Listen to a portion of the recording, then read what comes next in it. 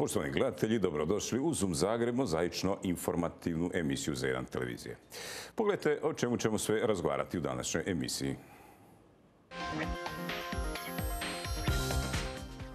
Kako će se rasplesti najveća politička kriza u povijesti Nove Hrvatske?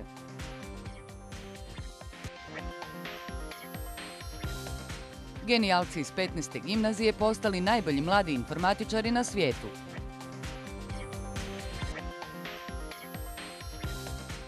Gošća komentatorica izjava tjedna je Espi Tomičić, jedna od sustanarki novog u obranu obrazovanja postavljenog šatora u Savskoj.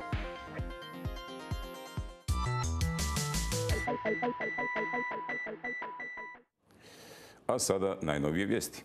Tihomir Orešković trebao bi se danas ponovno obratiti javnosti nakon burnog vikenda u kojem je Hrvatska de facto ostala bez vlade. Vijest nije potvrđena iz službenih izvora, no mediji špekuliraju da bi Orešković mogao komentirati izjave Tomislava Karamarka kako HDZ više u njega nema povjerenja. U međuvremenu na Pantovčaku je navodno došlo i do nenajavljenog sastanka predsjednice i premijera a predsjednica se sastala i s predsjednikom Sabora Reinerom, koji je nakon sastanka izjavio kako se razgovaralo o stabilnosti države.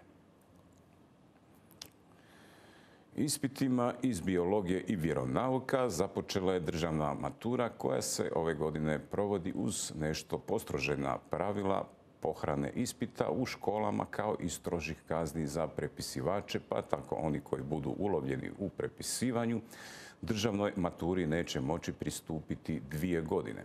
Za nešto manje od 40 tisuća učenika ispiti završavaju 27. lipnja. Konačni rezultati bit će objavljeni 18. srpnja, a svjedočbe onima koji uspješno polože podijeljene 21. srpnja. Traju radovi na Brani Mirovoj, a s njima i neminovne prometne gužve.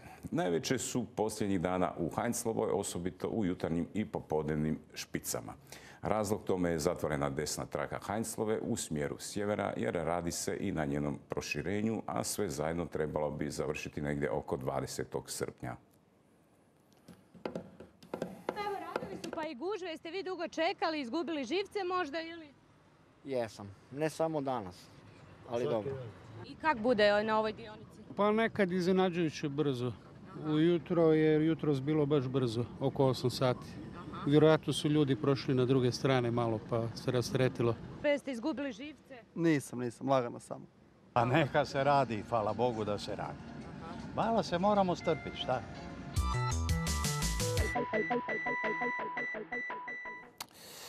U susret Zagrebačkoj povrci ponosa tradicionalno su postavljene LGBT zastave na nekoliko gradskih lokacija, a na Jelačić placu u nedjelju ujutro jedna je zapaljena.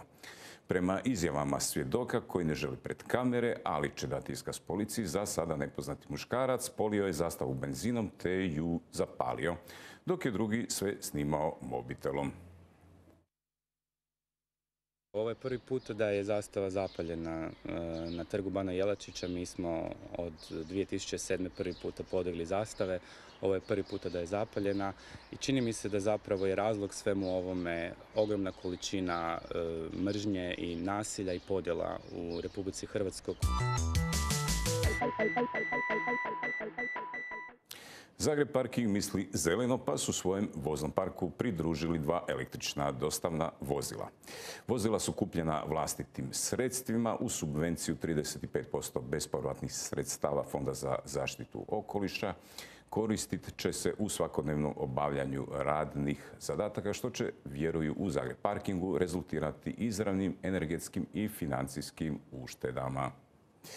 I vrijeme sutra, pretežno sunčano i razmjerno toplo, ujutro na širem području grada može biti kratkotrajne sumaglice ili magle. Vjetar većinom slab, najniža jutarnja temperatura od 12 do 14, a najviša dnevna između 24 i 27 stupnjeva Celzijevih.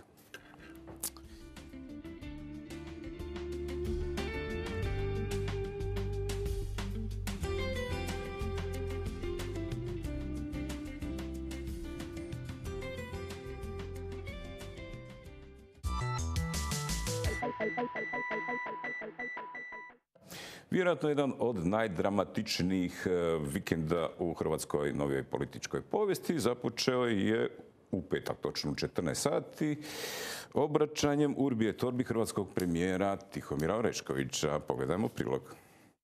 Jedan od najdramatičnijih vikenda u novijoj hrvatskoj političkoj povijesti započeo je prošli petak, točno u 14 sati, obraćanjem Urbije Torbi hrvatskog premijera Tihomira Oreškovića. Prvo i osnovno želim reći da ne dajemo ostavku, niti sam to planirao. Odnosi između gospodina Karmarka i gospodina Petrova poslali su preveliki teret za ovu vladu i za Republiku Hrvatsku. Zbog toga pozivam gospodina Karamarka i gospodina Petrova da se u nacionalnom interesu povuku sa svoje dužnosti. Na reakcije prozvanih i pozvanih nije trebalo dugo čekati. Koji je uvjet da Hrvatska krene prema boljoj budućnosti i da se stabilizira stanje moja ostavka, ja ću to prihvatiti. Što se tiče samog poziva za ostavkom, e, naravno da ju ne možemo prihvatiti. Pa poručio Oreškoviću kako više ne uživa povjerenje najveće hrvatske stranke. Gospodin Orešković ne uživa naše povjerenje. Nakon ovog jednog motala koji je iznao i koji je doista nerazumljiv svima. Je li Oreškovićev salto bio imortale, tek će se vidjeti, jer u ovom trenutku razni su scenariji raspetljavanja čvora u kojoj je hrvatska politička elita zapetljala vlastitu domovinu. Od preslagivanja unutar sabornice do izlaska na nove izbore, iako jedno ne isključuje drugo. No pokušaj preslagivanja saborske većine zapao je na samom izvoru, HDZ-u, jer na subotnjoj sjednici predsjedništvo stranke počela pucati i njena, dobro nam znana, barem javna, monolitnost. Pa je tako friški Karamarkov zamjenik Milijan Brkić, očito ne vjerujući da bi saborske preslagivačke brojke mogle biti na njihovoj strani, poželio odlazak Karamarka s mjesta prvog potpredsjednika vlade te nastavak suradnje s Mostom. To se kao što znamo na kraju nije dogodilo. Preslagivanje je podržano, no HDZ je na neki način načet, pa ni oni više ne mogu biti baš 100% sigurni, čak ni u vlastite zastupnike, a kamoli u ostale dionike ove drame za vrzlame a još sve moraju izvesti do 18. ovog mjeseca, točnije do izglasavanja povjerenja Karamarku. Brojne su još kombinacije raspleta, no kako god bilo, Hrvatska je ušla u vrlo nestabilno političko razdoblje kojem se zapravo ni u kojem raspletu ne nazire stabilan kraj, a Hrvatska će sljedećih ohoho mjeseci biti talac te nestabilnosti. I onako slab rad ove vlade sada je potpuno stao, čemu osim košarice stranih investitora na vanjskom planu, danas na unutarnjem svjedoči ne baš najvažnija, ali ipak simptomatična vijest o nemogućnosti održavanja sjednice Gospodarsko-socijalnog vijeća i to zbog nedolazaka ministara.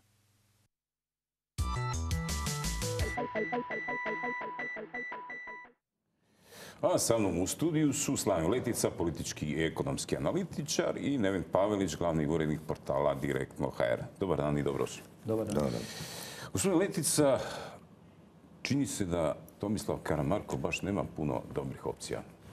Kako vidite njegovu situaciju u ovom spletu okolnosti i što bi on mogao, što bi bilo najpametnije za njega da napravi? Pa to najbolje on sam zna. Znači ne treba drugim ljudima kazati šta im je činiti. Mislim da je opća situacija u Hrvatskoj dosta e, nezgodna.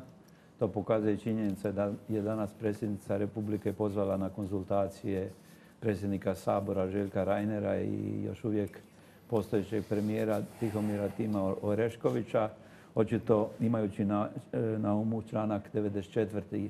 Hrvatskog ustava koji obvezuje da ona brine o redovitom ili e, skladnom, kako Ustav piše, usklađenom e, funkcioniranju državne vlasti, pa ako jedna kumica na placu vidi da nešto nije u redu, očito to još bolje vidi predsjednica Republike. Znači, ja ne vidim situaciju tako dramatičnom, zato što je hrvatska politika pretvorena u neku vrstu alternativnog reality showa, koji traje već mjesecima.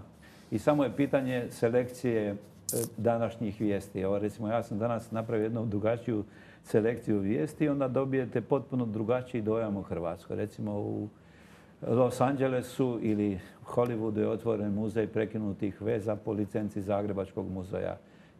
Jug je osvojio prvenstvo Hrvatske, informatičari hrvatski su postali svjetski prvaci. Europe. Prvenstvo Europe. Dobro, Europe, ali... Da, aha.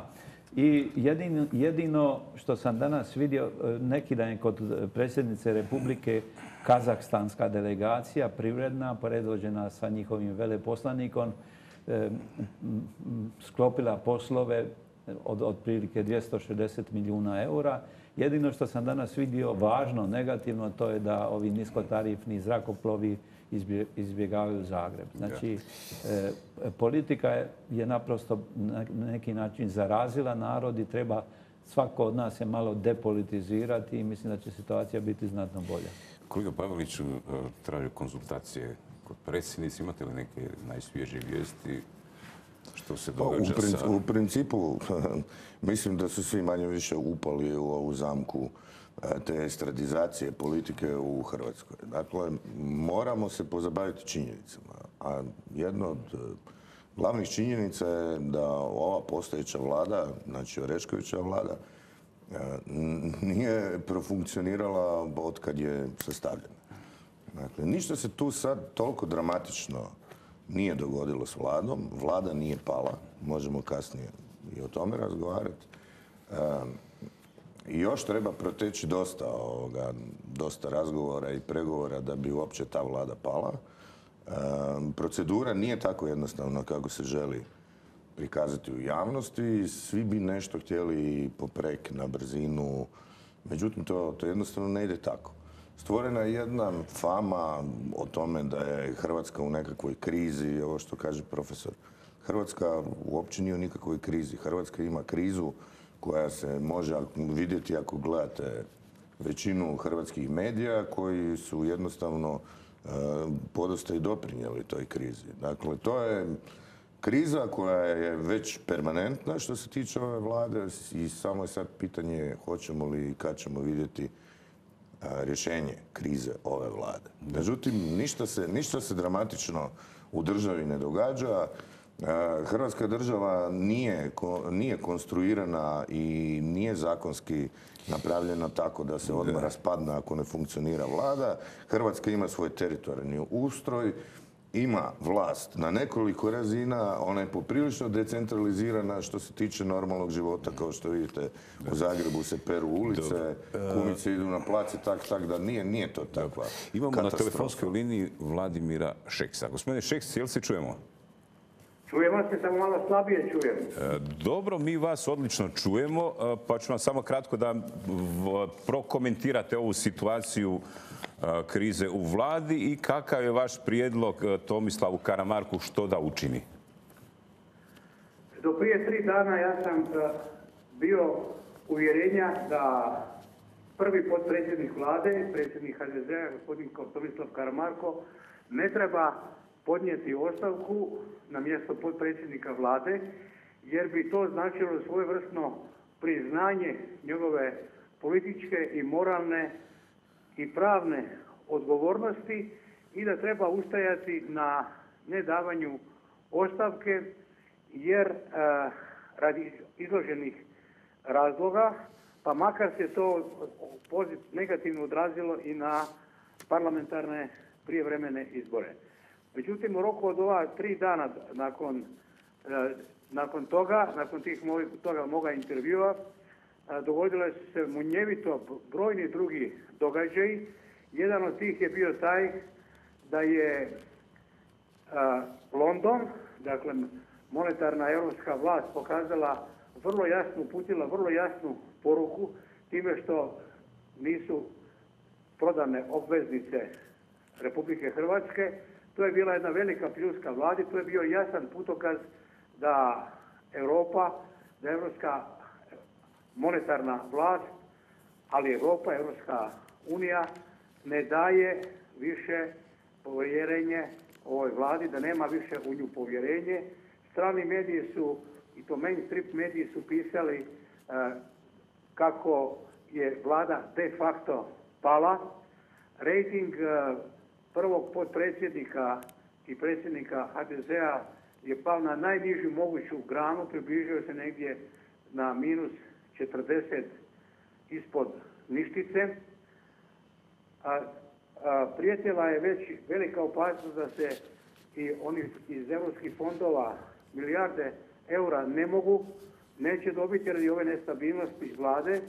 I ja sam tu zauzeo stajalište, posebno nakon one sjednice predsjedništva HDZ-a, gdje je i glavni e, tajnik, odnosno zamjenik Karamarka, gospodin Milijan Brkić i još neki članovi predsjedništva, gdje su predlagali i zahtijevali da Karamarko odstupi sa mjesta prvog potpredsjednika vlade. Imajući sve to u obzir, a posebno to da je danas objavljeno da je 77 zastupnika imenom i prezimenom najavilo da neće glasovati za potpredsjednika Karamarka, da će glasovati protiv njega kad mu se bude 16. 17. ili 18. izglasavalo nepovjerenje u Hrvatskom saboru, očito je da je kriza došla do samoga vrhunca i da opstanak vlade, ove vlade, više jednostavno nije moguć bez demisije prvog potpredsjednika vlade gospodina Karamarka. Gospodine Šeks, gospodine Šeks, jel me čujete? da bi bilo u najboljem interesu i njega osobno i Republike Hrvatske i Hrvatske demokratske zajednice da odstupi sa mjesta prvog potpredsjednika vlade i omogući da vlada nastavi Dobro, gospodine Šeks, jel me čujete? Čujem. E, recite što bi to značilo za poziciju Tomislava Karamarka u HDZ-u i kakve bi to moglo imati posljedice na stranku, jedinstvo stranke, na njenu na, njenu, e, na njen rejting zapravo u, u hrvatskom političkom e, životu? Pa ja bi, ja bi pledirao za to da ukoliko bi Karamarko odstupio, to bi bila njegova izlazna strategija to bi bio njegov časni odstup sa mjesta potpredsjednika vlade, jer je s time bi u Hrvatskoj demokratskoj zajednici dobio određeni broj pozitivnih poena, ali mislim da nakon sveukupna njegova politička karijera da bi trebala i nakon toga koraka kada bi odstupio sa mjesta potpredsjednika vlade, da bi sljedeći korak trebao biti njegov odstup sa mjesta predsjednika Hrvatske demokratske zajednice. Da. Dobro, kako, će, kako se to može odraziti na stranku? Imate li tu pretpostavku? A, govorio bih sa ovim protupitanjem. Koja bi bila budućnost Hrvatske demokratske zajednice ukoliko bi došlo do pada vlade, ukoliko bi došlo do prijevremenih izbora, da bi u tim prijevremenim izborima brod Hrvatske demokratske zajednice bio dobro torpediran. I ne samo da ne bismo dobili broj mandata kao što je bilo u prošlim izborima, nego bi sigurno dobili 10, 15, možda i 20% manje mandata. HDZ bi u parlamentarnim izborima, prijevremenim parlamentarnim izborima pretrpio pravu katastrofu. Da. Gospodine Šeks, hvala vam lijepo na javljanju. Molim, hvala vama.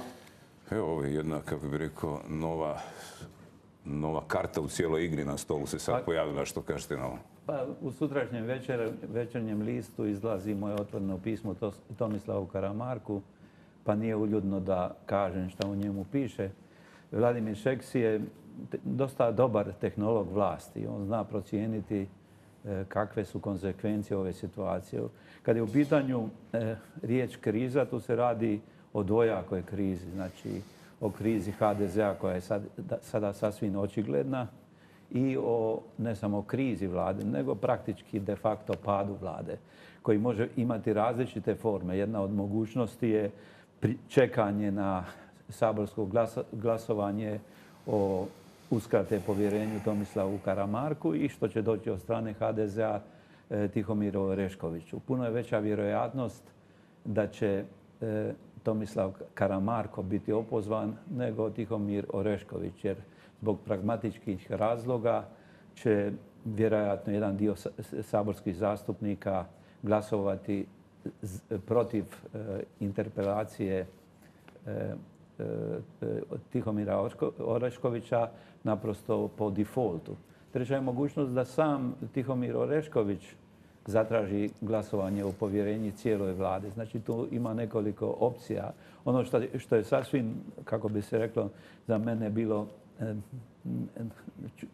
čudno je javni poziv Tihomira Oreškovića, Boži Petrovu i Tomislavu Karamarku da se povuku iz vlade. To je jedinstveni slučaj koji će sasvim sigurno biti studirano u povijesti politologije, da čovjek koji praktički je doveden u Hrvatsku kao zec iz e, Šešira Tomislava Karamarka, poziva e, predsjednike stranaka koje mu daju saborsku većinu da se povuku. Očito da on ne razumije samo Dobro, znači to Petro vjerojatno ostaje, a u ovom konstelaciji snaga Karamarka odlazi. Što vi kažete, kolega Pavliću? Pa gledajte, ovo što je sad gospodin Šeks rekao, to je sigurno jedna od opcija o kojoj i sad raspravljaju u, u HDZ-u.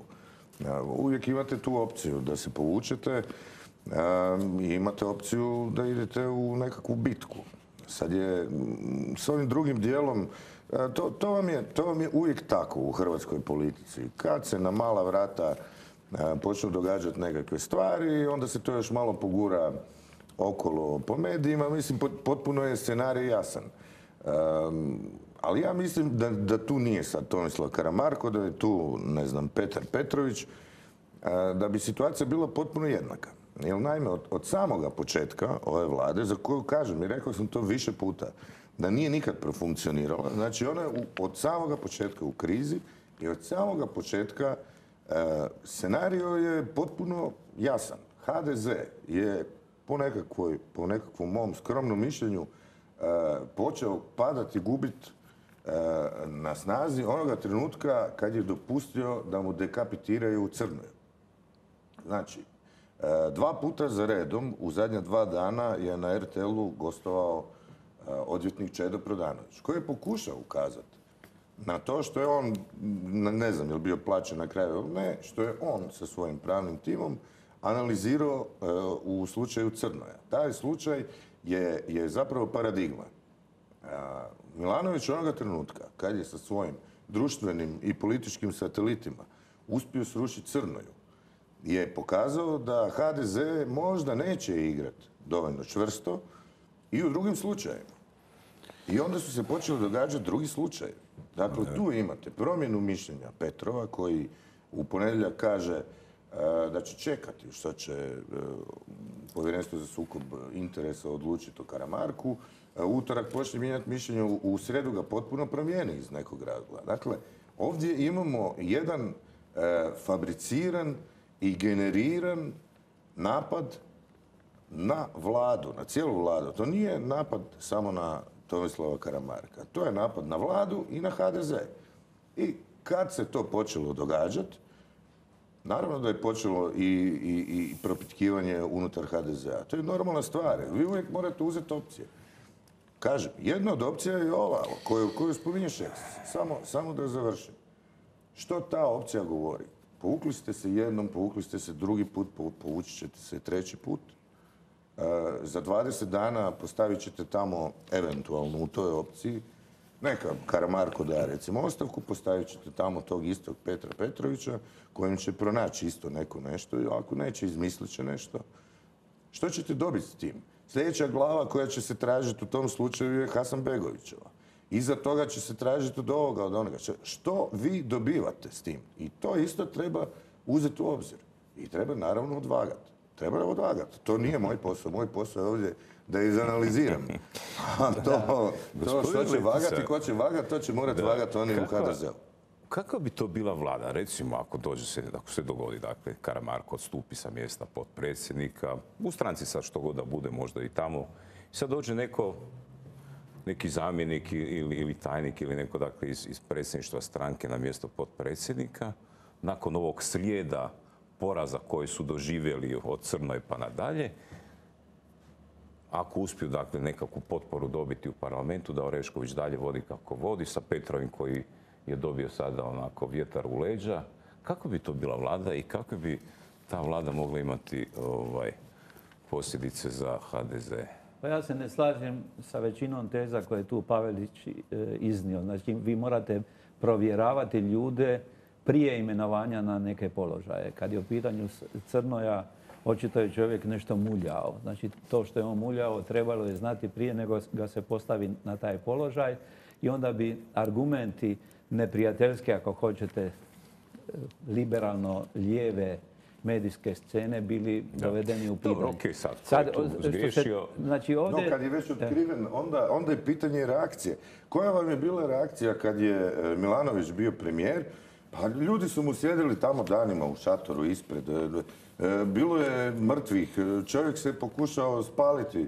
Mislim, i što se dogodilo? Pa on nije promijenio svog ministra. Dakle, tu se vidi tu se vidi kako vi reagirate na pritisak. Dobro, on je promijenio neke ministre. Recimo, ali nije ovoga, na pritisak ga nije. Mire Luhovi je odmah smijenio. Pa smijenio je zato... Znači, samo da ja kažem. Znači, Mirela Holy je dobila otkaz iz drugih razloga. Znači, ovdje se radi kad je u pitanju HDZ o jednoj dvojbi. Dakle, da li žrtvovati lovca ili topa i zadržati tu koalicijsku vlast i osnažiti ili ići u rizik novih e, izbora manje više na tragu logike o kojoj govorio Šeks. Znači, ti novi izbori sasvim sigurno bi koštali... Kako bi, to bila vlada ako bi dakle sada odstupili i sa, sa Karamarkom sa pozicije potpredsjednika? Ta nova vlada može tražiti od, odstupanje i Tihomira Oreškovića. Znači, jer to što je on javno zahtijevao i što nekako valjda privatno sanja da on može žrtovati svakoga, i da bi on, znači da on bi htio da se povuče 5-6 ljudi iz vlade, da bi on mogao vladati još 4 godine ili 44 godine. Znači to je u najmanju ruču politički nerazumno, pokazuje da on ne razumije logiku pravne države i demokratskog procesa. Znači, jedna od općane, ja ne ulazim u odluke Hrvatske demokratske zajednice. Okolnost da je na predsjedništvu Hrvatske demokratske zajednice trojica ljudi su sebe istaknuli kao ljude koji imaju kičmu. To je Ivana Maletić, ona može biti kandidatkinja za novu predsjednicu Hrvatske demokratske zajednice ako stvari idu tijekom koje je spomenuo Vladimir Šeks. Znači, tamo je Milijan Brkić i tamo je Ivan Anušić kojeg ja osobno znam. Znači, on je bio... Što se događalo u subotu? Prije emisije ste mi ispričali jedan, jedan događaj, možete prepričati ne barem... Ne mogu to što sam vam ispričao prije emisije, ne mogu... Šteta, jako je zanimljivo. Možete barem, dakle, smisao toga da, da kažete ove što Čujte, znate kakvi su ljudi. Vi možete, recimo, ako date nekom sociolingvistu da izanalizira izreku Milijana Brkića da mu je draže da bude sa orlovima nego sa licemjerima, zato što orlovi jedu mrtve, što nije sasvim točno, to su lješinari ili jedan dio, možda supovi, a da e, licemjeri jedu žive, ukazuje na to da je vjerojatno tamo bilo nekolicina ljudi koji su prije tog predsjedništva kazali da bi za stranku, pa možda i za Hrvatsku bilo najbolje da se Tomislav Karamarko povuče i da se na neki način e, sačuva vlast. E, čuvanje vlasti ima mnoge benefite, znači političku stabilnost, pregovore o reprogramu duga ponovno u Londonu, možda promjenu, ne možda, sasvim sigurno predsjednika vlade sa čovjekom koji malo bolje zna i, i vladati i razumije demokraciju i onda bi eventualno mogli na jesen imati nešto stabilnije Znači zapravo Milijan Brkić je, nije bio usamljen u početku, međutim kad je došlo do, do, do, do njegovog zahtjeva nekako je nastala čistina, kao da su se Čujte, troje ljudi je velika stvar. Znate, u, revoluciji se obično pripremalo među troje do petoro ljudi. U čuvenom e, kafeu Central u Beču, Trocki i njegova skupina su e, oktobarsku revoluciju pripremili. I Napoleon i Hitler isto tako, bili su tu u skupinama oko 5-6 ljudi. E, crni ovam bio jedino Andrej Plenković koji je prozborio na općem saboru da nijedna stranka ne može biti na neki način talac jednoga čovjeka, znači da taj pokret se širi i on će se sasvim sigurno širiti. A što ti kažete, kolega Pavliću, kakve će to posljedice? Hoće li se stranka stresti? Je li ovo slično onome što se događalo neposredno nakon smrti e, predsjednika Tužmana? Može li se usporediti? Je li na, vidiku jedan potres kaos u HDZ-u? Ja ne bi, ja ne bi tako trčao, trčao pred rudom. Dakle, prvo, e, gospodin Šeks nema nekakvu funkciju u HDZ-u, on ima naravno kao iskusni političar, iskusni lisac e, i čovjek koji je preživio apsolutno sve i svašta u tom HDZ-u. Naravno da ima pravo, ima, koji da, koji, na takve mogućnosti. Ne? Da, da, da, ali, ali je čovjek, čovjek je pragmatičan, čovjek ima iskustva i naravno da ima pravo na svoje mišljenje. Međutim, i on je ovdje isto zainteresirana strana. Dakle, i njegovo mišljenje trebamo gledati kao i mišljenje bilo koga druga koja je zainteresirana strana e, što se tiče situacije u HDZ-u. Dakle, e, ja ovdje ne bih brkao e, situaciju vođenja države, odnosno vlade i situaciju koja se možda događa, a možda i ne događa u HDZ-u.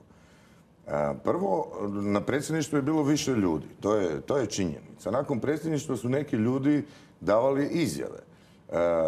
vidimo po ovoj izreci koju je vjerojatno rekao e, Milijan Brkić, da je na tom predsjedništvu bio i zapravo i doktor Ante Starčević. Ali to je sad manje bitno, toliko u tome Orlovi jedu žive i mrtvi. Mislite HSP doktor Ante? Ne, ne, ne. Ante Starčević, glavom je bradom, je to njegova izreka. A, I što ona sad znači, to je sad, to je sad drugo pitanje. u HDZ-u e, će situacija biti onako kako si ju sami slože. A što se vlade tiče, e, čisto zbog interesa javnosti, treba reći neke stvari koje su činjenice. Orešković, Orešković ne može smijeniti i otpustiti ni jednoga ministra, a tako ne može... Formalno može, formalno ne, može. Ne, ne može. Evo vidite, vi isto griješite. Pogledajte zakon o vladi. Takva mogućnost uopće nije predviđena. E, po zakonu o vladi je predviđena jedina mogućnost da e, netko da ostavku i da je on onda prihvati ili ne prihvati. Mogućnost smjene je predviđena, očito je zakonodavac tako to postavio, samo kroz sabor. Dakle, da bi Orešković razriješio nekoga, jer vlada nije Oreškovićeva, niti je njegovo leno, nego je ona kolektivno tijelo koje bira sabor. Dakle, situacija uopće nije tako jednostavna kako neki to hoće, kako neki to hoće prikazati. Dobro, e, imamo na telefonskoj liniji gledatelje. Halo, jel se čujemo? Dobar dan. Dobar dan, izvolite. Malo prije gospodin Pavlić rekao kako je Crnaja, ovaj, kako je ono pisao... Stišajte tele, televiziju, gospodine. Stisani, stisali. Pa. Malo prije rekao, sad dobro.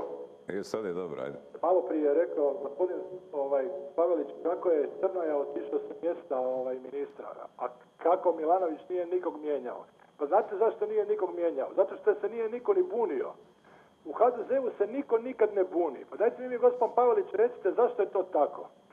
Zašto tamo niko ne zna govoriti? Mislim, e, e, ti ljudi i Karamarko je bio nekakav špijun, kontrašpijun, Milijan Brkić isto, pa valjda imaju nekakve dokumente, mislim, što oni ne, oni ne mogu ići u, u borbu na, na, na jedan takav prljav pa način. Razumijemo što ste htjeli pitati, hvala na vašem javljanju. Gledajte, ovoga, ja nisam rekao da Milanović nije nikoga mijenjao, Milanović je mijenjao.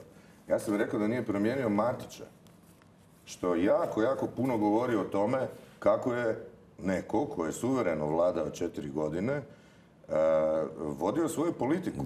Vodio je čvrsto. Dakle, promijenio onoga koga je htio, a nije promijenio e, nekoga na podržaj izvan stranke. Jel? Znači, unutar stranke je postojalo nekakvo e, zanimanje za promjene i to je Milanović odradio. je li imamo još nekoga na telefonu?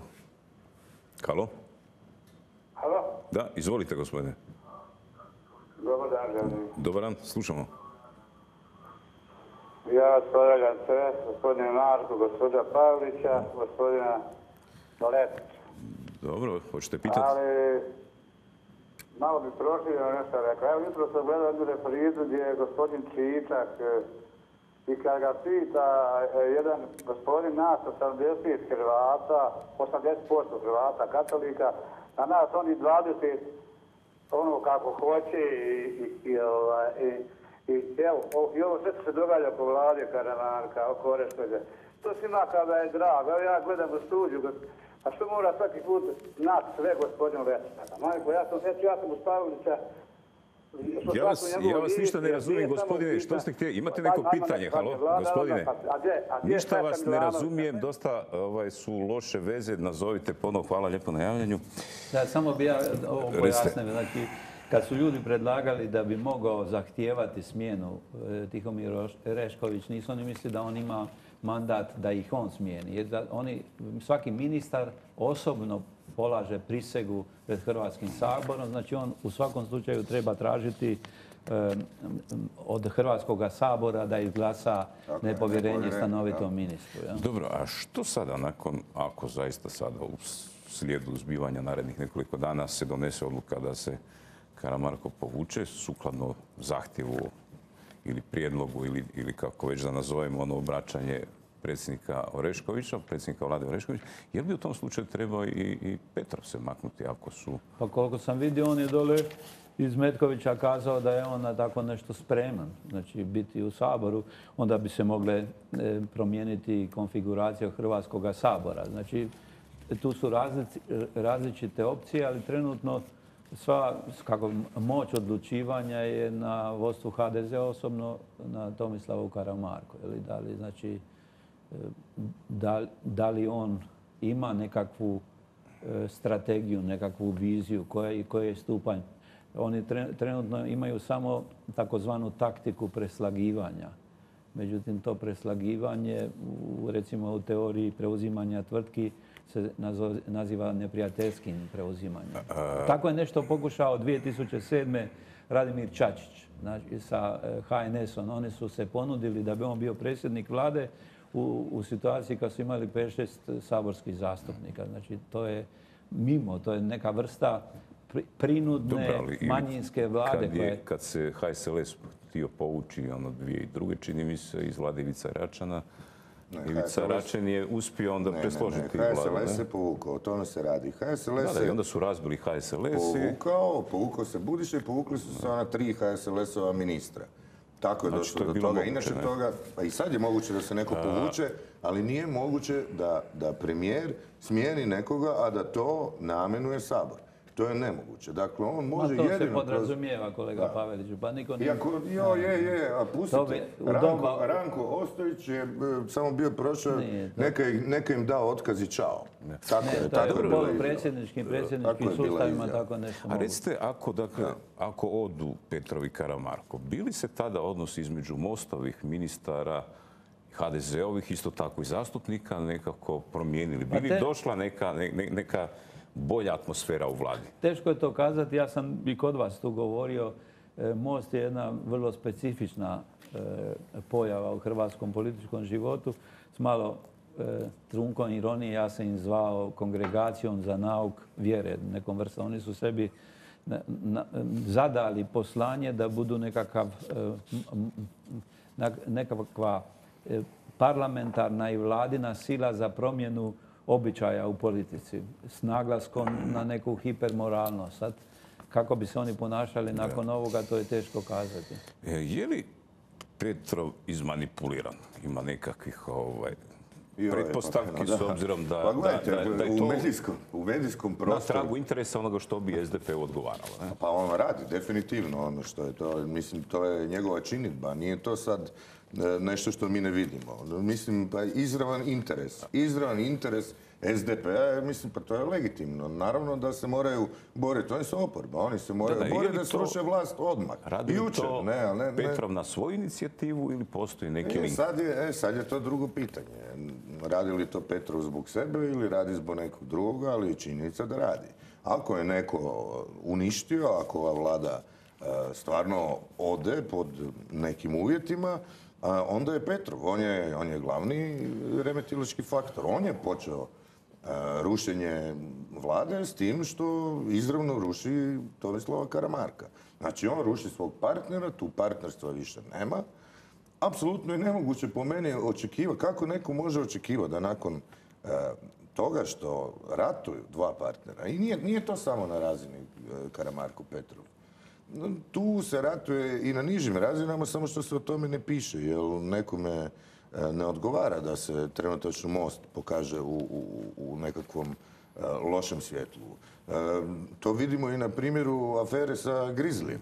Dakle, o svemu i svačemu se piše, ali o tome vrlo malo da je HDZ u takvoj situaciji i da ima takvu aferu, bilo bi otprilike kao i Fimi Medija. To bi mjesecima bi se to razvlačilo, razvlačilo dok neko ne bi završio u zatvoru. E, gledajte, što se tiče Mosta i Bože Petrova, znači on je na neki način i bio kingmaker. Znači on je omogućio da se stvori ova vlada. Znači u to doba je SDP inzistirao da je on nekakav bio tajni igrač HDZ-a. Naravno, sada HDZ-ovci e, u, sklopu teorija zavjere misle da on sada igra za nekoga drugoga. Mislim da ta skupina ljudi i on, oni imaju neke predođbe u vlastitom poslanju. Da li su one točne ili netočne, je sad drugo pitanje. Što se tiče te afere Grizli, ona je vrlo slojevita. Znači, ona ima element da su taj ugovor, e, netko ga je ukrao iz automobila. Znači to je jedan dio te priče. Drugi dio priče da veliki broj PR agencija u Hrvatskoj se ljudožderski bori na jednom malom tržištu na kojem više nema ni oglašivača, ni oni koji narudžbuju poslove. I onda su oni ponudili tamo da će oni kontaktirati, ne znam, ministre i tako dalje.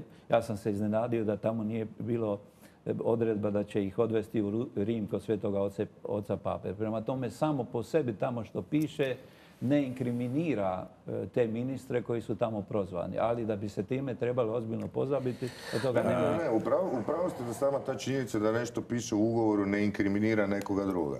Međutim, jako je inkriminirajuća činjenica što ista ta agencija od prije, od prije ovih izbora zadnjih radi sa Mostom. Ne, dakle, ja, to, nisu, dakle, to nisu samo tak veze bez ne, veze. To je, pouka je sljedeća, da nikada ne treba uzeti nijednu agenciju koja besplatno radi. Sad kad spominjemo PR agencije, jesu li uh, Karamarkovi PR savjetnici podbacili prije svega u kampanji koja je od pobjede Kolinde Grabar-Kitarović kada je bio, e, kad su imali čini se preko 45% biračkog tijela na svojoj strani koja je krenula silaznom putanjom sve do, dana izbora, a u konačnici ovih zadnjih dana, za nije trebao Karamarko kad izbila afera konzultantica izaći pred javnost i reći da, moja žena je imala takav ugovor, ona je to radila i reći ono što se zaista događalo. Zar ne bi na taj način ipak smanjio štetu? Što se tiče političkog marketinga, ova lijeva koalicija je bila superiorna, to je neosporno. Međutim, domoljubna koalicija je samo šest mjeseci prije izbora trebala superiorno pobijediti sa i, ili bez političkog marketinga. Znači pravi, pravo pitanje kako se moglo dogoditi da domoljubna koalicija i HDZ koji su trebali možda dobiti 70 e, saborskih zastupnika na kraju su došli u situaciju da jedva mogu skrpati vladu. I, i, I drugo je pitanje kako se dogodilo dok si na vlasti da ti rating stalno pada. Je To, znači, to ne može se optuživati samo PR agencije. Je li Marko treba prihvatiti izazov Milanovića u kampanji da se suoče da dođu negdje na neki javni prostor i U, Hrvatskoj ljudi vole kod te obračune kod OK Korala. Znači, oni su očekivali da frajer koji je fajter će izići na Megdan. I pogotovo e, Milanoviću koji je on se boksa. Znači on je kao i Stipe Mesić, oni su boksači. I znači, bivši. Ne, bivši, da, dobro. oni znaju padati. Ja sam, Marko, neki ja sam bio, ja sam trenirao na budo sa Stipom Mesićem i on je fantastično padao. Znači on se naučio logici padanja, ali se naučio i brzo, brzo dizati. Vidite, on je gotovo bio... padao, ima nas još koji smo Evo, sada, sada se ne da deložirati gore iz onog ureda koji jedno vrijeme služio kao bordel i vjerojatno ako se promijeni vlast, valjda ćemo opet vratiti apanažu. No, dobit će još veći ured. Ono, pa već je, sad, već je sad negdje izjavio da će se kandidirati za gradonačelnika Zagreba ili je to neko tako prenio. Dakle, mislim... A što se tiče ove PR kampanje ili, ili ne PR kampanje ili antikampanje koje je domoljubna koalicija imala u, izborima, to stvarno treba njih pitati zašto su se odlučili za takvu za takvu varijantu tihe, nevidljive, vrlo ultrakonzervativne kampanje koja evidentno nije dala, nikakav rezultat. Dakle, kao što je profesor rekao, praktički dobivene izbore su izgubili.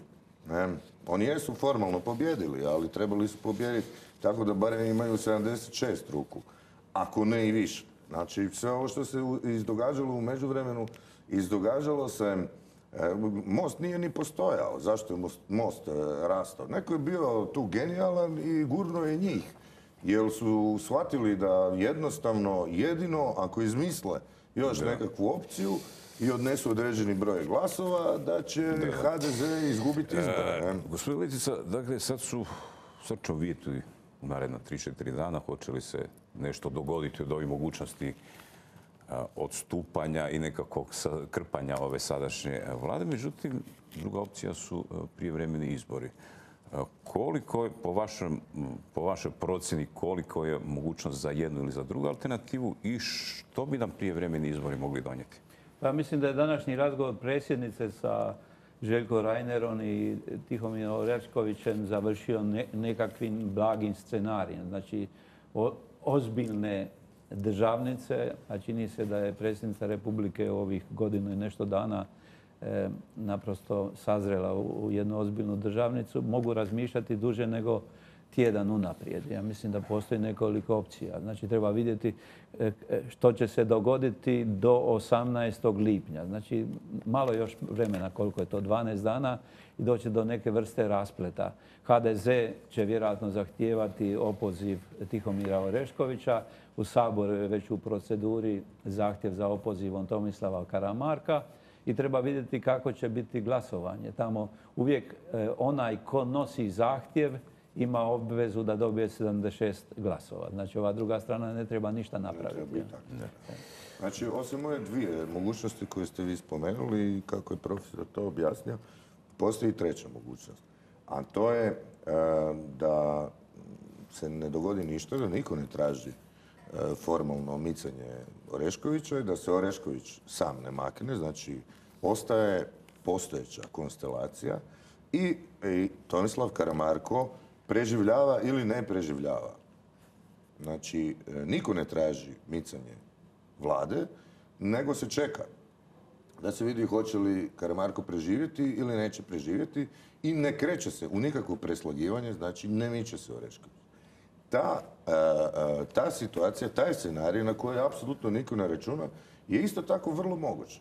Pa kako dakle, kad je predsjedništvo HDZ odlučilo da ide na opoziv Karamarka. To, znači, što, to što su oni odlučili, to što, to što su oni odlučili treba pričekati. Dakle, Kako ga su donijeli su formalno moraju to napraviti za, moraju to napraviti za 3-4 dana. Ne, tamo je pisan, neko je pitao Karamarko ko je zato da, ko je zato da tražimo opoziv U znači jedna je, rekli, jedna je opcija, jedna je opcija to je da idu u preslagivanje. Nije. Kako? Jedna Morala bi biti ad hoc sjednica predsjedništva HDZ-a da promijeni. Ne može sada... Zašto ne bi? Možda se, je, ali to ne može ići ovako bez takve sjednice predsjedništva. Ne pa znam mogu imati ponovo sjednicu. Dakle, uvijek postoji ta mogućnost. Ali to bi onda, to bi iskarikiralo ozbiljnost te stranke. Znači da prije sedam dana su jednoglasno glasovali za opoziv predsjednika vlade i sad se sastanu kako bi to sebi i javnosti objasnili.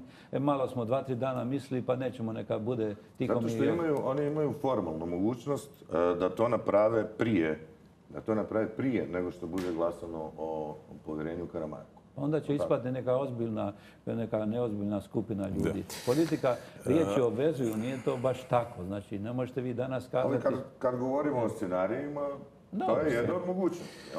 Dobro, čujemo naše gledatelje na telefonskim linijama. Halo, dobar dan. Čujemo li se? Dobar dan. Izvolite. Želim vama i vašim gostima. Htio bih samo ovoga pitati gospodina Pavelića e, zbog, zbog čega on ima takve negativne konotacije u odnosu na gospodina iz Mosta i potpredsjednika, jer on je po meni, odnosno po narodu, jedini povjednik izbora i pravi povjednik izbora jer je onemogućio HDZ-u da radi rodijačku vladu. Dobro, znači zbog čega negativno kolega Pavlić gleda na Petrova. Imamo li još nekog na telefonu? Halo? Mogu Halo? Samo, samo tren da čujemo. Je li imamo još nekog na liniji? Nemamo više, dobro. Dakle, nemam nikakve negativne konotacije ni prema kome, pa tako ni prema Petrovu. Ali kad razgovaramo o tome ko zauzima kakvu poziciju u trenutačnoj hrvatskoj politici, onda se stvari po meni trebaju uvijek definirati, trebaju nazvati pravim imenom. Dakle, Petrov je, kao što je rekao i profesor, Petrov je jedan od odgovornih ljudi zašto se ova vlada skupila. Zapravo je i najodgovorniji. Znači, najzaslužniji, da. Najzaslužniji i, samim time i najodgovorniji. isto tako je i najodgovorniji za to što sad ta vlada ulazi u duboku krizu i pred raspadom je. Dakle, to su činjenice i ja mislim da trebamo razgovarati i na osnovu činjenice i to vrlo otvoreno. Jer mi ovdje, ja ne znam jeste vi, ja nisam član ni jedne stranke, nisam nikad ni bio. Ne, znam da li ste vi sad formalno ja član bilo koje stranke ili imate bilo, kako, imate bilo kakav osobni interes u tome. Ne, ja nemam. Ja nemam. ne. Gledajte, Božo Petrov je ostao dužan javnosti objašnjenje i razloga zašto on bezuvjetno zahtjeva, odnosno most, ostavku Tomislava Karamarka. Znači, to nije na jedan transparentan, jasan, svakom razumljivi To, o način. tome se radi. On je jednostavno u ponedjeljak rekao će jedno, on- u sredu je počeo govoriti drugo. I nema tu možda, negativnih možda kad bude glasovanje će neko u ime Mosta, možda čak i on osobno to iznijeti. Da, dobro, idemo prema kraju razgovora. Uzet ćemo još jedan telefonski poziv. Halo, čujemo li se? Dobar dan, gospodine Marko. Dobar dan, izvolite. Pozdrav svima u studiju. Ovako bi rekla, danas je objavljena informacija da na suđenju u Perkoviću i Mustaću u Njemačkoj postoje dokumenti koji veoma kompromitiraju i mnoge u Hrvatskoj koji su još živi. Pa me zanima, kakovi su to ljudi u Saboru koji mogu podržati prijedlog onih koji su slijednici komunističke partije Hrvatske i koji su željeli mijenjati i Ustav samo da ne bi došlo do izručenja. Puno Aha, hvala. Dobro, hvala lijepo. Da, Gospodine Ledice, Pa ja mislim da se Zoran Milanović jako osramotio na tom pokušaju e, prevare Evropske unije i spriječavanju mogućnosti da njemačko pravosuđe sudi i otkrije istinu o ulogama u likvidacijama poratnim i onim koje se tiču Stjepana Đurekovića. Mislim, vjerojatno je na kraju i on sam to shvatio. Mislim da je gledateljica a, ovaj, mislila na most koji podupire zahtjeve SDP-a, dakle Ma, kakvi su to znate, ljudi, ne? vezivati ili genetski ili nasljedno, ne znam, dinastijski stranke za nekakve prethodne režime vrlo teško jer u svim strankama, ja sam nekad govorio, kad imate jednostranački sustav, to je kao ima- imate jednu krčmu u selu. Svi pijanci idu u tu krčmu. I sad otvori se druga krčma pa idu u dvije krčme. Tako je, znači dok je, nije bilo SDP-a i HDZ-a, svi su pili u Savezu komunista. Onda su išli vamo. Jel? Dobro, i za kraj hoćemo neku okladu. Šta će se dogoditi? Pavelić je bolje obaviješten. Ja sam stariji čovjek. Ja, ja ovaj, dobivam informacije uglavnom iz e, prvih ruka, te na kapaljku idu. Ali ja bih rekao ipak da ćemo ići na privremene izbore negdje u jesen. U jesen, da. Što, Ja što mislim da bi to bilo najpoštenije. U osnovu kad smo nas dvojica bili ovdje, bili smo isto onaj dan kad se odlučivalo bilo hoće li biti vlada, neće. Kad su bili oni strašni prevrati, kad je Petrov rekao SDP-u ne, pa su onda e, se našli, pa su išli kod predsjednice, pa smo ipak dobili vladu takvu kako smo dobili. Ja mislim da bi bilo najpoštenije da se ide na, na te izbore i onda da se vidi ko će dobiti više glasova. E, ide normalno kampanja, u kampanji će moći svako reći ono što hoće i, i kako misli da je najbolje. E, mislim da nije nikakva tragedija da se ide u ponovne izbore. Mislim da isto tako i nije nikakva tragedija i da se ovo razvlači još jedno vrijeme, pa makar i do sljedeće godine, do lokalnih izbora, jer mislim svi pokazatelji, svi pokazatelji manje više govore ekonomski da ova postojeća, kažem, kriza vlade koja je u kontinuitetu, koja nikad nije provladala onako kako je trebala, nije donijela za sada ništa još negativno. To što se Hrvatska trenutačno nije zadužila ili je kamata viša nego što su očekivali, ne znači da se ne može zadužiti. Mislim da je to ona teza od gospodina Šeksa da je tu pogriješio, da, niko nije odbio Hrvatskoj e, kredit, nego su samo podigli kamate. Dobro, ucijenili su nas, ja malo o tome više znam. jeftiniji. Ali Ti mislim da postoje još dvije opcije. Znači, možda postoji mogućnost pregovora o manjinskoj vladi i o velikoj koaliciji. Nažalost, kod nas postoji jedan sustav autističnih političara koji ne razgovaraju. Znači, mi možemo tu razgovarati iako su nam stavovi po nekim pitanjima različiti. Kad bi se počelo razgovarati i o te dvije opcije, možda bi se i tu pronašlo neko rješenje. Tako, ja mislim da se mora o apsolutno svim opcijama razgovarati, kako unutar e, stranaka, a tako i u javnosti, ali trezne glave i bez ovih podmetanja i, i ne znam, danas kažem jedno, sutra kažem drugo. Dobro, tu ćemo završiti naš razgovor. Hvala vam lijepo na gostovanju. Evo, dragi gledatelji, to je bilo sve u ovom dijelu emisije. Svakako slijedi Evropsko prvenstvo, pa će to malo dati prostora da se razbistri ovaj situacija. Vidimo se za koji trenutak.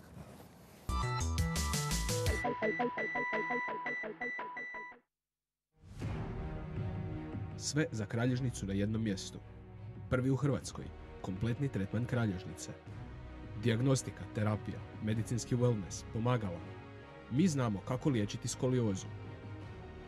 Zašto patiti od vratne kralježnice? Nado koncept liječenja vam može pomoći. Sve za kralježnicu na jednom mjestu u novoj emisiji Nado koncept liječenja.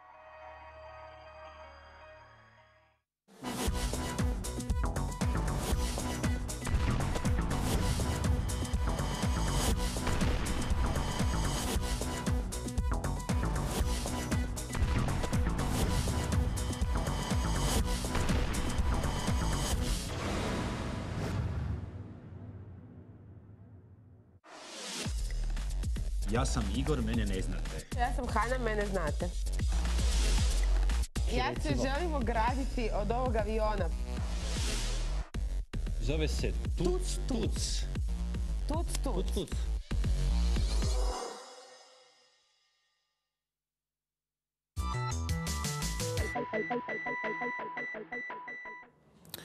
Učenici 15. gimnazije ponosni su nositelji e, titule najboljih mladih svjetskih informatičara.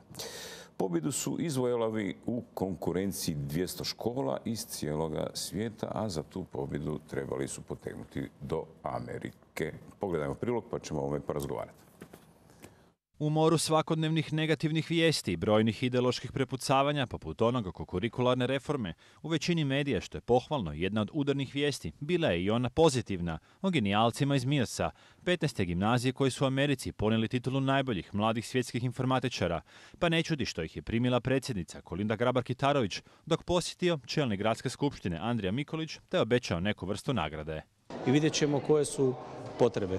Ono što je u ingerenciji Skupštine, mi ćemo širom otvoriti vrata i prozore i izaći u susret.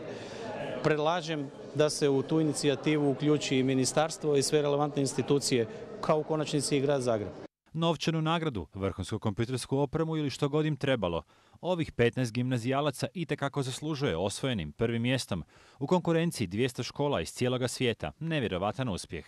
Išli smo tamo po prvo mjesto jer smo dolazili iz Hrvatske, nismo htjeli samo sudjelovati, ali naravno da je lijepo osvojiti prvo mjesto i okolina je jako ponosna. Iako su Ladice i Ormari ravnateljičinog ureda prepuni nagrada i medalja s prošlogodišnjih svjetskih natjecanja, ovo je do sad najveći uspjeh. To je stvarno vrhunski i ovaj, Amerikanci su ljubomorni. Da je Mioc teška škola u kojoj nema laganini i provlačenja, nije tajna, radi se punom parom radnim danom, nekad i vikendom, no za ovakav svjetski uspjeh treba se godinama pripremati. Nije to rezultat nekakvog kampanjskog rada ili e, priprema samo e, neposredno prije natjecanja, pripreme samo e, prije samog natjecanja služe samo kako bi se kako bi dodatno podigli razinu. O što boljem učenju, nastavnom i kurikularnom programu te prepucavanjima oko njegove reforme, učenici i nastavnici su razgovarali s predsjednicom Kolindom iz čijeg ureda je priopćeno kako su svi složni da reforma mora ići dalje u korak sa svjetskim trendovima, a pogotovo u informatici koje tvrde premalo zastupljena. Ne bih ulazio ovaj, puno u politiku, ali smatram da je kurikularna reforma dobra i da je put na bolje. I svakako treba poticati, jedan od um, elemenata kurikularne reforme je uvođenje obavezne informatike za osnovnu školu i to treba poticati. No kakav god hrvatski obrazovni sustav buduće bio, nastavnici smatraju da bi se ovih 15 gimnazijalaca trebalo usavršiti na nekom od vrhunskih fakulteta poput Bostonskog MIT-a, a potom bi se, kažu, trebali vratiti u domovinu. Ali treba se u zemlji stvoriti uvjeti da se oni imaju gdje vratiti i da mogu e, napredovati dalje u našoj zemlji. E to ovisi o našim političarima, koji umjesto da se prime posla i osiguraju bolje uvjete za radi život, energiju troše na dnevno politička prepucavanja po najviše ideoloških tema.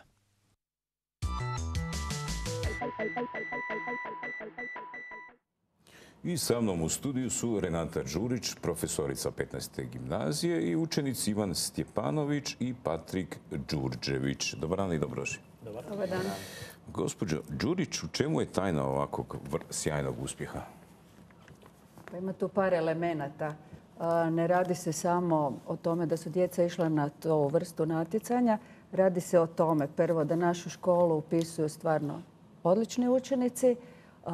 Ti učenici su motivirani i rade, nađu se područje interesa recimo u nekom od područja prirodoslovnih i onda vole pa mogu reći bar pola od njih, vole dodatno raditi i to onda kulminira raznim sudjelovanjima na raznim natjecanjima i ovako uspješnim osvajanjima Pa dobro, tako nagrada. vjerojatno slično radi i druge poznate škole u svijetu, ali nemaju takav uspjeh. Dakle, čemu je formula dobitna? Pa ja mislim da oni koji rade dobro, oni dobro i uspijevaju. Dakle, radi se o sveameričkom natjecanju gdje na kraju su pozvani najbolji, ali ovaj, u- to je vrlo mali, mala razlika u bodovima između prvog, drugog, trećeg mjesta, tako da uvijek držimo fige da to bude Ivane, kako izgledalo ovo samo natjecanje? U kojim disciplinama ste odmjeravali snage? Pa natjecanje se sastoji od dva dijela. Znači, a, prvi dio je samo programiranje i rješavanje ovaj, problema algoritamskog tipa. A, Znači, programiranje u nekom programskom jeziku, bilo kojem. I drugi dio, nakon programiranja, se ide na teoretski dio, znači e, rješavanje zadataka iz raznih područja informatike. To bi bilo nekako teoretsko znanje i rješava se na papiru, na testu. I to je onaj dio koji stvarno treba učiti. To, to, to nije pokriveno ovaj, srednjoškolskim znanjem. Dobro, kad se radi programiranje nekih e, softvera, jel, koji ste, vjerojatno ste nešto tako radili, e, znači da se pokušava pronaći najjednostavnije rješenje sa jedne pozicije na drugu. Ne? Što znači da je onda softver i najbrži, jel? Znači, pa da, u biti ovaj, to su problemi koji su raznog tipa. Znači imamo i tako nešto, ali uvijek tražimo najbolje, najbrže, najoptimalnije rješenje za neki dani problem. E, Patrik, kakva je bila konkurencija? Kako su izgledali? Pa konkurencija je bila dosta jaka. Kao što znamo, a, završili smo sa prvim, drugim i prvim mjestom, ali bilo je jako blizu. Ja, Tko su vam bili blizu iz kojih zemalja? pa ima ih dosta iz Amerike, ima iz Slovenije, Bugarske i raznih zemalja koji stižu Ja na bih to dodala natjecanje. Koreja, Kina, Kanada, Rumunjska. Rumunjska je izuzetno jaka. Što su rekli domaćini kad na, ovakav uspjeh, kako su komentirali, jesu isto postavljali ova pitanja u čemu je tajna? Pa znate što, mi smo na ovom natjecanju od 95. I zapravo svake godine mi budemo prilično uspješni. Ove godine smo izuzetno uspješni. Jedino još u sve tri kategorije prvo mjesto nismo uspjeli osvojiti. Dakle, jedna kategorija juniori, druga intermediate i treća seniori. Dakle, ove godine juniori i seniori su prvi, a intermediate drugi. Dakle, radimo na tome da postignemo ovaj, sva tri prva mjesta. A ovaj, a, u početku Amerikanci nisu uopće znali ništa o nama i kad smo 95. prvi put nastupili i bili izuzetno uspješni sličnog ovaj, ovakvog rezultata, onda smo bili čudo. Ovaj. A danas kad odlazimo s natjecanja, rukuju se s nama i kažu dođite nam opet do godine. Dakle, sad se zna da Hrvatska ima jake natjecatelje. Jedne godine su me pitali, pa dobro, ovaj, odakle vi gdje nalazite tu djecu? Dakle, objasnila sam o kojoj vrsti škole se rade.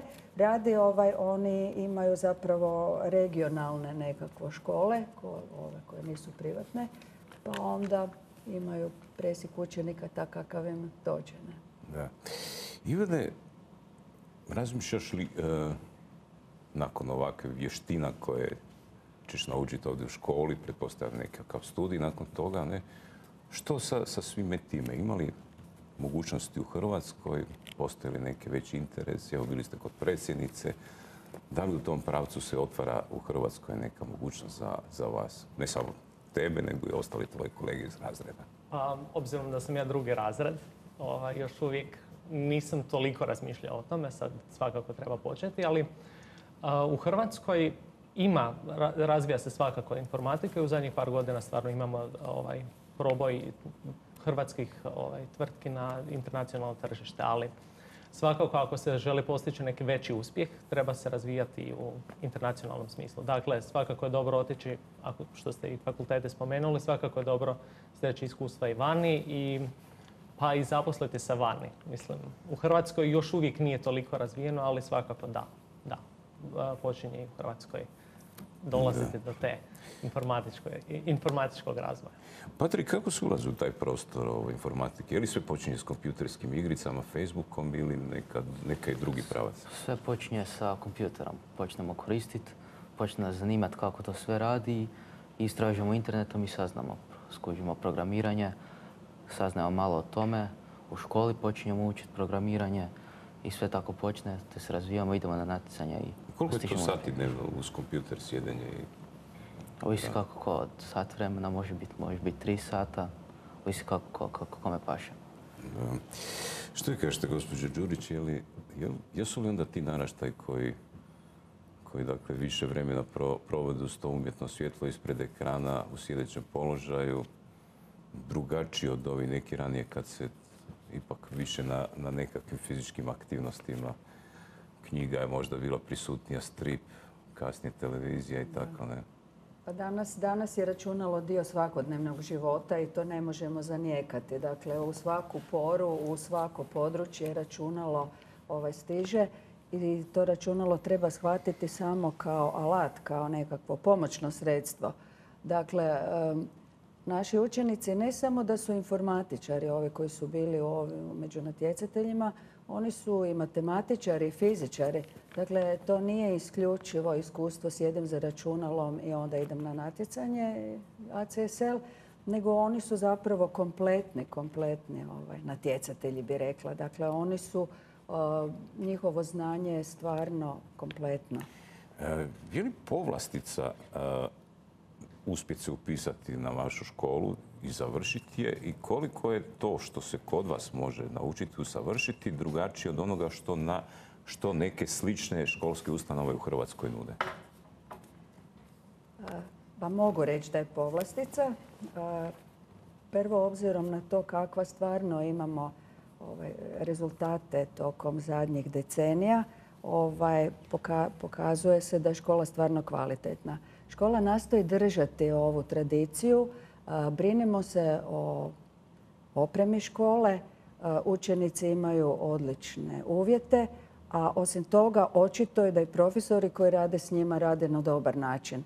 Tako da ovaj, mislim da je jako dobro upisati na našu školu. Ove godine prvi put imamo prijemni ispit. Voljeli bi da stvarno upišu oni učenici kojima je prirodoslovlje njihovo područje i koji ovaj, će stvarno imati interes ovaj, raditi dalje. Da, Ivane, možeš ti komentirati kako je biti učenik mat- je li to matematički informativni obrazovni centar, jel? Jest. Tako se zove. Mislim, službeno ime je 15. Da, gimnazija. da, ali sjećam se iz onih nekih drugih ranih Um, vremena. Kako je, da, je li to, uh, dobro, ne možeš uspoređivati, ne znaš kako je u drugim školama, možda na temelju onoga što čuješ iz razgovora sa kolegama. Koliko je to kod vas drugačije u odnosu na ostale škole? Pa ponajprije, evo, što na- natjecanja su jako bitan dio ovaj, života učenika u Mijevcu. Znači, kao što je profesorica rekla, više od pola ljudi se stvarno bavi natjecanjima i imamo vrlo jake natjecateljske timove što se tiče a, gotovo svih područja. Em, I to je, to je ono bitno i to je zbog čega većina ljudi dolazi u Mijevac. A sad, što je različito s drugim školama, ne znam. Imamo veliku pokrivenost znanja, znači em, široko, uči se dosta široko i ne znam, to je i dobro i loše. Što se tiče natjecatelja, mislim, smatram da je to nešto lošije jer a, moraju biti a, moraju učiti za ostale predmete i razvijati se u svim smjerovima, ali to je svakako dobro za, za učenika kao osobe. I mi stvarno pruža jako puno znanja i to cijenimo u našoj školi. Da, pretpostavljam da je tu i kod upisa jedna, jedan, jedan filter se napravi tako da je onda konkurencija između učenika napravljena. Pa je, na- sigurno, sigurno. Ovaj, e, naši učenici se krenu brinuti od četvrtog razreda osnovne škole o svojim ocjenama, o svojem inputu da bi mogli doći ovaj, u našu školu. Znači, to se razvija od malih nogu. Patrik, koliko se mora proći sedmi, osmi razred da bi se upisalo? Treba se proći sa svim peticama sa 5.0, osim ako smo na natjecanjima, onda nam mogu donijeti neke bodove natjecanja, pa nam je lakše upis. Znači 5-0. Da, 5.0 su. I, ali tad nije 100% da se ulazi, jel? Pa uđe se ako je 5.0, onda ulaziš. Po ovom novom sad Po neće novom biti sustavu neće biti zbog prijemnog, ali do sada je tako bilo. Ako imaš sve 5.0, prolaziš sigurno. 4-9 ne. Ne. Osim ako ima natjecanja, od natjecanja bodove koji donesu. Ako smo na državnom natjecanju, to nam donese bodove iz određenih predmeta, A u, za vrijeme osnovne škole? Da, da. Da, da, da, da, da. Zanimljivo to. to je, znači, zapravo ulazite u prostor elitnog znanja.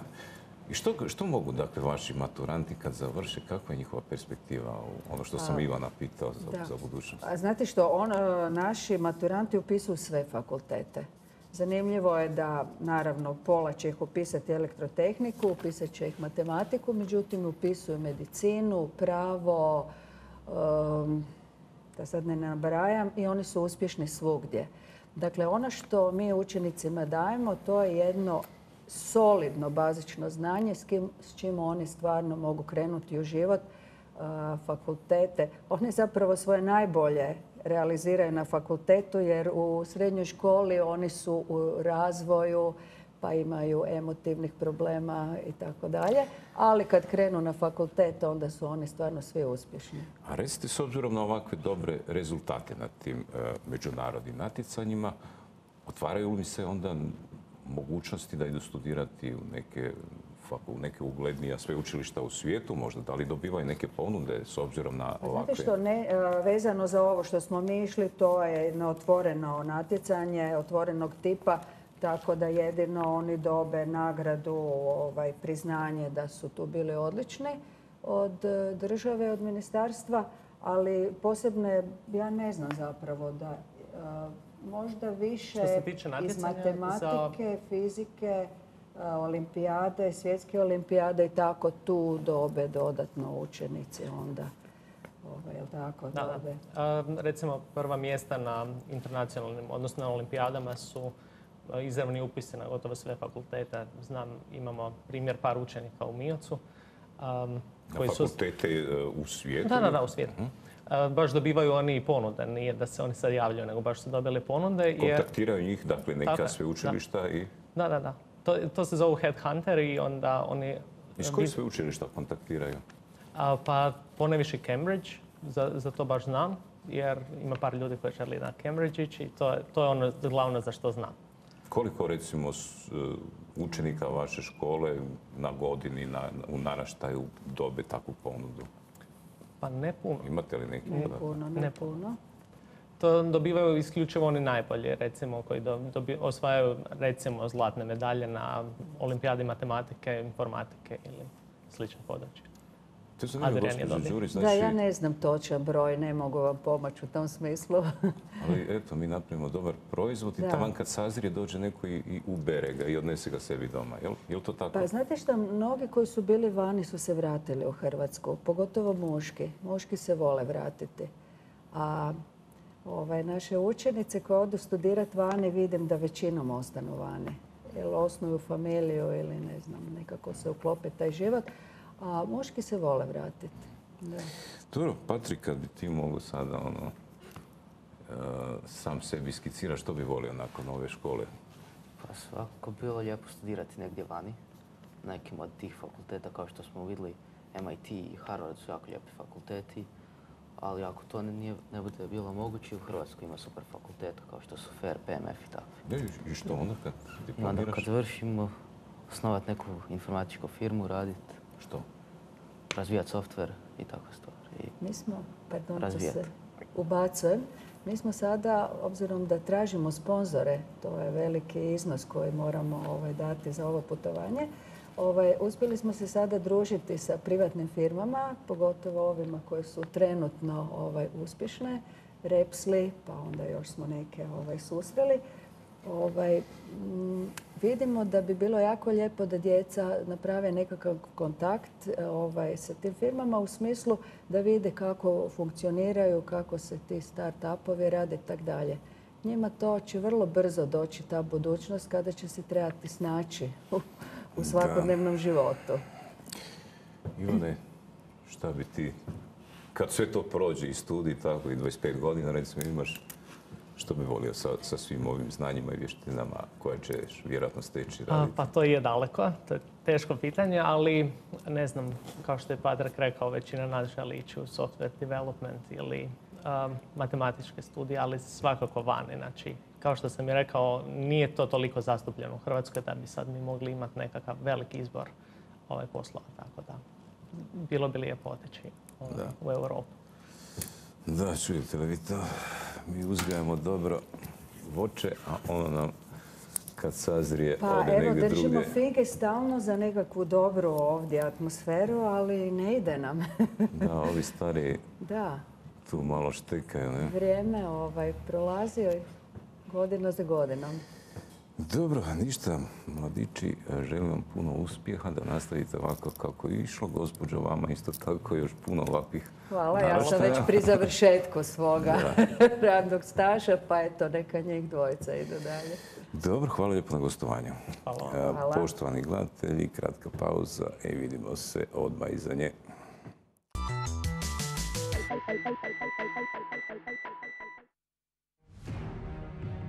Sve za kralježnicu na jednom mjestu.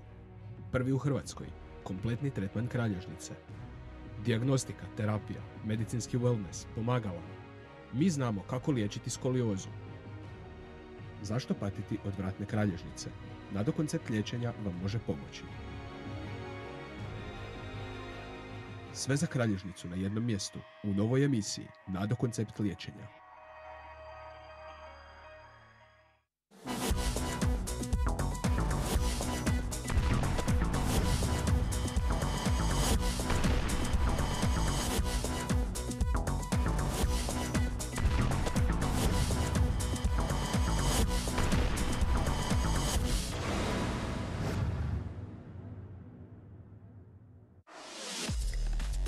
Ja sam Igor, mene ne znate. Ja sam Hana, mene znate. Ja se želim ograditi od ovog aviona. Zove se Tuc Tuc. Tuc, tuc. Tuc Tuc.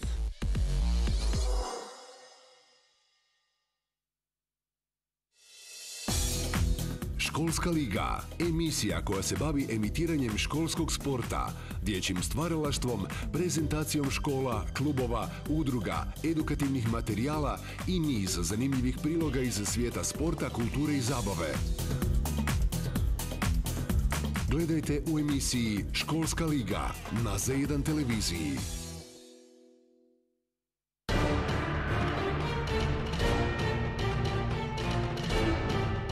Zoom Zagrebu zoomiramo sve zanimljive teme i događaje u gradu. Politika, kultura, sport. Ništa ne promiče našem zoomiranju. Najzanimljivijih zagrebačkih 90 minuta sa zanimljivim gostima. Svaki dan od ponedjeljka do petka. Samo na Z1 televiziji. Mi zoomiramo Zagreb za vas.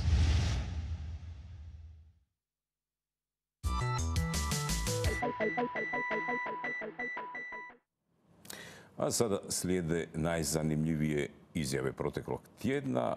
Gost, odnosno gošća komentator je Dorotea Šušak, prosvjednica Brucošica u onom šatoru ispred Ministarstva prosvjete. Dorotea, dobro dan, dobrodošla. Dobar dan, drago. E, imaš neke nove vijesti, čuli smo. Pa imam nove vijesti, prije nekakvih pola sata je ovoga ministar obrazovanja, dakle gospodin Šustar, izašao iz ministarstva i rekao nam kako su naši zahtjevi prihvaćeni. Također nam je dao i pisano obrazloženje koje bi uskoro trebalo bi izaći za medije. A vaši zahtjevi su glasili Pa zahtjeva je nekoliko, to su dakle izmjene i dopune pravilnika o natječaju za dodjelu državnih stipendija za iduću akademsku godinu i riječ je o nekoliko stvari od kojih su primarne te da se zapravo mijenjaju rokovi od kojih dakle na početku natječaj će izlaziti do u mjesecu listopadu na početku akademske godine, da će se finalni rezultati i objava stipend i početak isplate stipendija u mjesecu siječnju ovoga krenuti isplaćivati.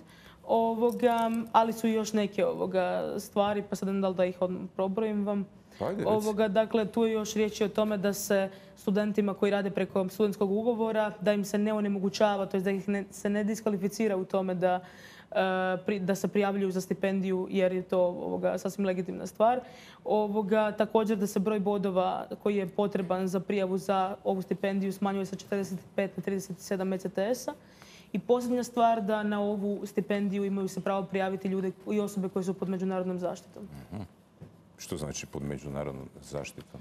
Pa da su, na primjer, azilanti koji u Republici Hrvatskoj studiraju momentalno.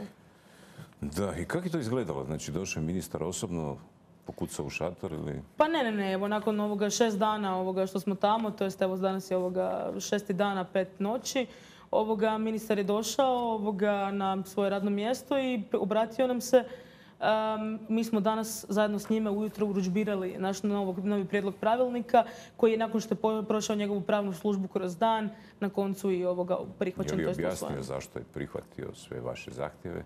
Pa nama je rečeno da su zahtjevi razumni i racionalni i da ih je shodno tome e, normalno i prihvatiti. Eto. I što sad, pakirate šator, idete doma? Pa evo, dakle, mi sad čekamo da njihova objava postane službena na njihovim stranicama i nakon toga u principu da, kao što smo rekli, kad se zahtjevi usvoje, mi šatore mičemo.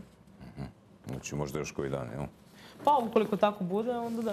Dobro, idemo sa našim izjavama. Molim režija prvu po redu.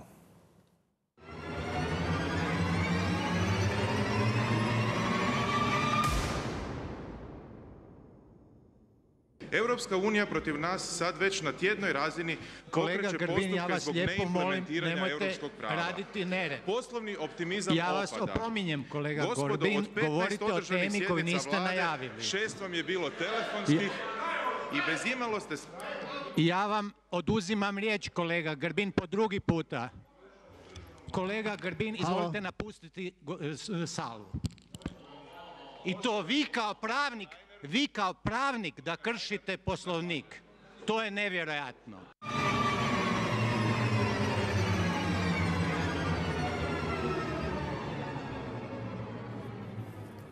I Dorotea, dobrodošla u svijet odraslih, kako ti se ovo čini? Da.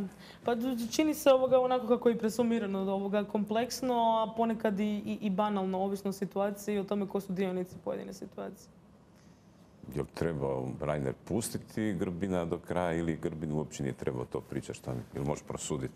Pa nisam sigurna, s obzirom da nisam upućena u kontekst same situacije. Mislim da je kontekst apsolutno presudan ovoga, ali inače ne bih ulazila u njihova međusobna prepucavanja jer mislim da su naprosto prepucavanja i s jedne i s druge strane vide se ovoga očito užarene i ovoga užarene izjave. Jel pratiš političku situaciju?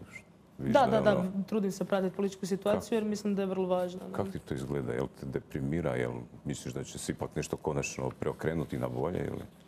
Pa mislim da smo mi mladi, to jest ljudi koji su trenutno studenti, dužni s jedne strane ne nužno biti pozitivni, apsolutno ne biti realni, međutim s druge strane biti dovoljno progresivni i voljni se aktivirati oko određenih stvari, pa ukoliko vidimo da nam nešto ne odgovara ili da nešto u društvu ne valja, upozoriti na to, naravno argumentacijski sa dobrom pozadinom razložnosti zašto to radimo, a ne nešto drugo.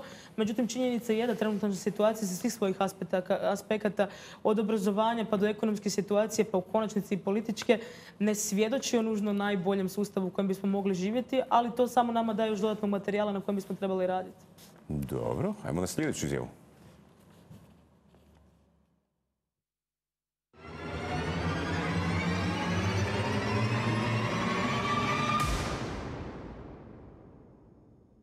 Pa to ni mala djeca ne bi tako. Moji unuci se tako igraju. Halo, halo, gdje si? Eto, 350 mi- milijardi kuna nas košta jedna, jedna hala usluga. Ali to, to meni nije normalno. A nekad svako reče kaj misli da, da, da li je ili ni meni nije normalno.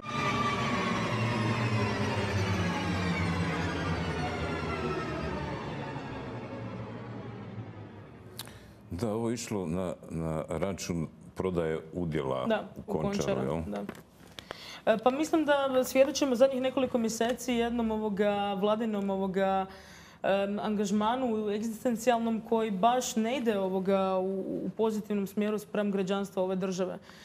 Nažalost, ukoliko ja tu sad ovo moram reći, dakle ovo govorim u osobno ime, s obzirom da, sam, da se od mene traži da komentiram ove stvari, e, čini mi se da dalje rasprodajemo ovoga firme, pa samim time i državnu imovinu, da to nikako ne može biti nužno ukoliko nije razložno, a čini mi se da o tome nisu provedene dovoljna količina javnih rasprava, da pače da je sve dosta dovedeno na onom a, na pred gotov čin, tako da mi se čini da ne bih to nužno prozvala pozitivnom prije, ovoga pojavom, da pače složila bih se sa, sa, sa prosvjednicima ondje, odnosno sa ljudima koji su skrenuli pozornost na takav događaj.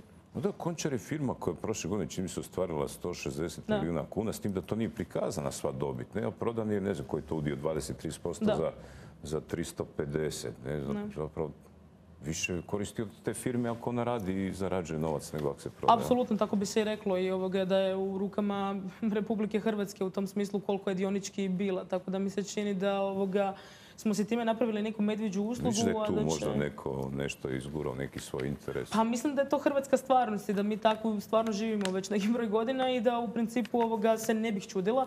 Tu ja ne mogu presumirati, tvrditi ovoga sa afirmacijom u potpunosti. To će morat neke ovoga, kako Neki kažu, da je. Orešković došao samo prodavati tu državnu imovinu.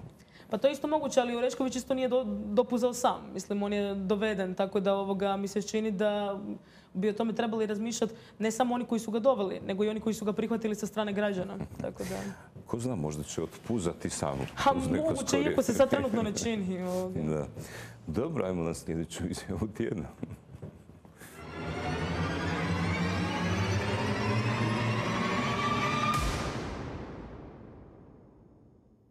Nažalost, ovdje vidim velika većina ima svoju cijenu i to je ono što uništava Hrvatsku već 25 godina. Nema morala, nema principijelnosti i svak gleda samo svoju torbu i to nas ubija.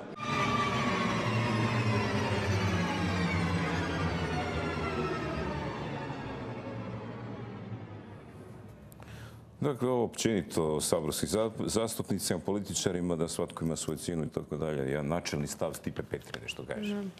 Pa načelni stav Stipe Petrine koji ovoga, mislim da nije sad nužno samo ovoga Petrino. Mislim da je nekako ono uopćen. Mislim da je dobro rekao da većina ima svoju cijenu, a mislim da je to činjenica. Mi nekako cijelo vremeno težimo tom ovoga društvenom dominantnom prosjeku koji obično kada je eto naprosto samom činjenicom da je dominantan, samom činjenicom da je prosječan, pa samim time i u najvećoj kvantiteti, nužno nam je i najbolji. A on ima apsolutno svoju cijenu. Naprosto negira to da se stvori konsenzus oko određenih stvari, već se samo stvara demokratska većina, što zna često biti ovoga problem. A i činjenica da svatko ima svoju cijenu u političkom svijetu dosta doprinosi tome da se određene stvari rasprodaju ili prodaju po nekim ovoga cijenama pojedinaca, a ne cijenama društva, rekla bi se. Čujete vi ovo, dragi gledatelji, koliko imaš? Ti si brusoš? Da, 19 godina, da, da. Zanimljivo. Ajmo na sljedeću izjavu.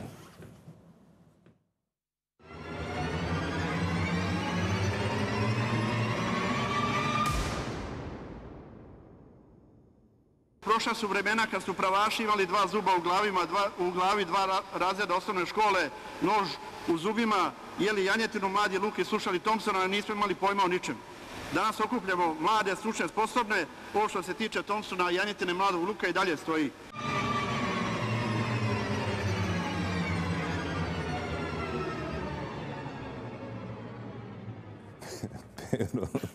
Nož u zubima, Thompson i Janjetina. Da. Šta kažeš? Pa mislim da si je gospodin sam dao šlagvort završnom rečenicom. Ovoga. Ne bih rekla da onaj početak stoji nužno. Ovoga, ta završna rečenica kaže Thompson, Janjetina i što već bilo, mladi luk i dalje ostaju. Pa to nije loše, mislim, Pa šta ne, fali? pa nije, ne, pa Mladi dobro, ajde, Janjetin još možda ne, ne znam. Ali, ovoga, ali onaj prvi, ovaj prvi dio koji je bio, ja ne bih rekla. Ja mislim da su neke stvari očito ostale iste. Ovoga, jer se ogledaju u svojim rezultantama u društvu. Tako da mi se čini da ovoga, osim Janjetina i Thompsona, e, pa nekog obrazovanja koje je spominjano na početku, nemam osjećaj da smo se baš previše ovoga, e, Misliš kod pravaša porasli. ili Pa- sve ukupno? I sve ukupno, ali kod prvaša, s obzirom da su oni trenutno topikalnost koja nam je bila podasta. Dobro, i idemo na posljednju izjavu tjedna, molim, režija.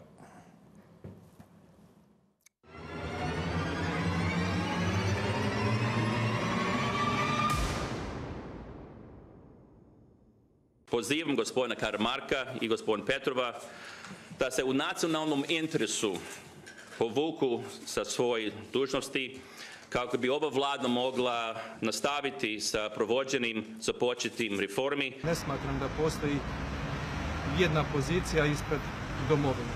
Ako je to cijena, ja ću je platiti. Mi ćemo razmisliti i razmišljamo. Mogu sada zapravo već i sad reći da gospodin Orešković ne uživa naše povjerenje.